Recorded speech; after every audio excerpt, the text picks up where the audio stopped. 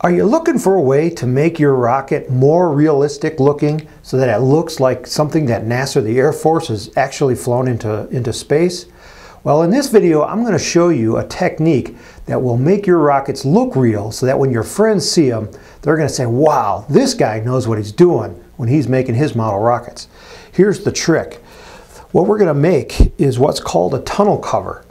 These are these raised uh, ridges on the side of a rocket, and you see them on all kinds of rockets, like this Bomarc here, uh, or the Saturn 1B here. You see this uh, tunnel cover. Um, this uh, Aerobee, Aerobee High also has three tunnel covers on it. Well, the trick to making these is pretty simple, but really, why does NASA use these things? Well, most of these rockets um, are just full of propellant. And the brains of the rocket, the flight computer, is up here in the nose. And it's got to direct the, uh, the nozzle back here at the bottom. And the wires, they run them along the side because they can't run them inside because that's where all the fire is. There's, you know, you can't run them inside or they'll, they'll get burned. So they have to run them on the outside. And then what they do is they cover them up with a, with a, basically it's just a piece of sheet metal, just curved. Um, and why do they do this? Well, if you look um, at real rockets, such as flown at uh, Kennedy Space Center, um, the technicians are constantly working around these rockets and they're bumping into things and they're snagging things. Um, and these wires, they're, they're kind of delicate, so they don't want them to get um, pushed around and bruised and dinged up. Uh, and the other reason they use them and cover them up is because in Florida, where they launch them, it's very humid. And it's also near the ocean, so you have a lot of salt air. And this salt air and the humidity combine and make it very corrosive. And so things are actually literally rusting as soon as they start setting them up. And these rockets are big, and it takes them several days to set them up, maybe weeks. Um, so they want to cover them up and keep them uh, dry and, and so that the water and the rain doesn't get to these things. So that's why they actually use them. Now what we're going to do is uh, we're going to use either you can use a spruce stick like this or you can use a half round dowel and I like the half round dowels and you can buy these at most any hobby store. Um, and then uh, we're going to shape them so that they look like tunnel covers. And most of them have round edges because they make them round because that reduces the drag on the rocket. Um, so the video you're about to see actually comes from the Saturn V construction videos. Now the Saturn V and the Saturn 1B, uh, we do the instructions different in, in video format because it's very detailed and we want you to have a great looking rocket when you're done. So let's go ahead now and watch the video on how to create the curved end on the tunnel covers.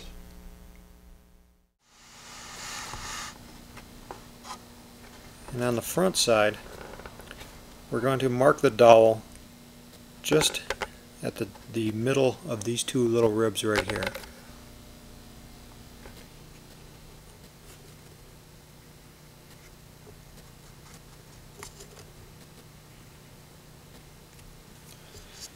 And we're now going to shape the dowels. Actually, they're going to be rounded like this. And then they're also going to be arced over the front.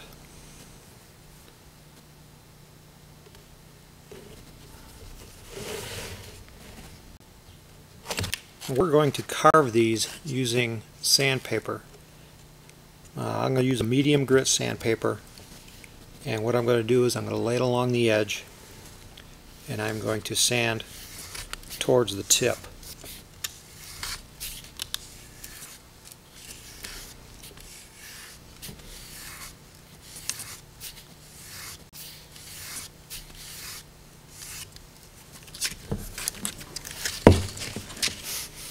And then I'm going to do the same on the other side.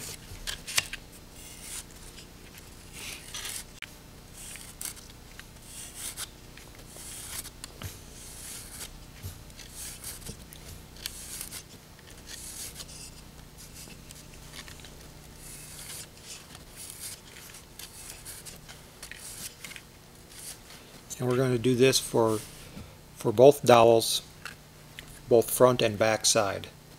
Now that the tip is rounded, we're now going to bevel the edge downward. Again, we're going to use some sandpaper, and this time we're going to work on the tip. We're going to sand forward.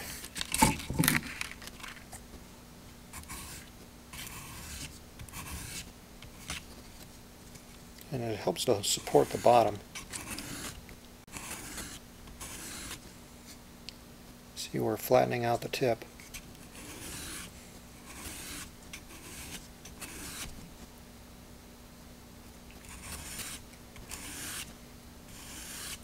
and we want to stop when we get to the line right here. But we want it all the way down to a point.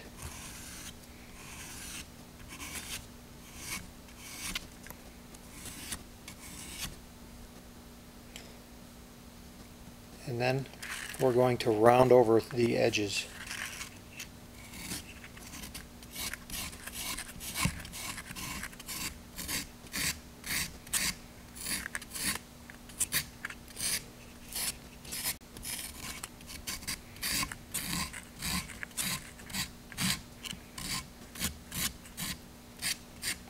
Now I'm going to switch to some finer sandpaper to smooth it out and to remove any of the other sharp or hard edges.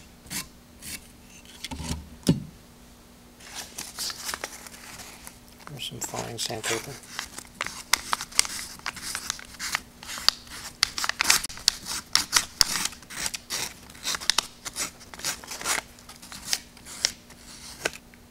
And we're going to do this for both of the dowels, front and back, on the booster section. After you have sanded the end of the tunnel, go ahead and sand the overall surface of the tunnel with some fine grit sandpaper.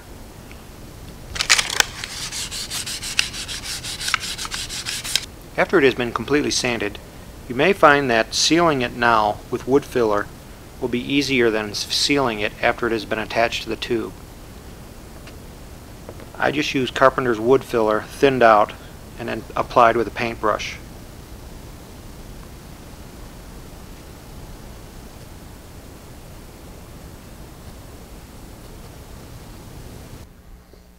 So you saw how easy that was to make tunnel covers. That's great. So when your friends see your rockets, they're going to be very impressed on how your rocket looks so real. So if you like these videos, come to the Apogee website, tell us how we're doing, and we'll see you next time. And during that time, when you're launching rockets, may the winds be light, may the skies be blue, and all, may all your rockets fly straight and true. I'm Tim Van Milligan from Apogee Components.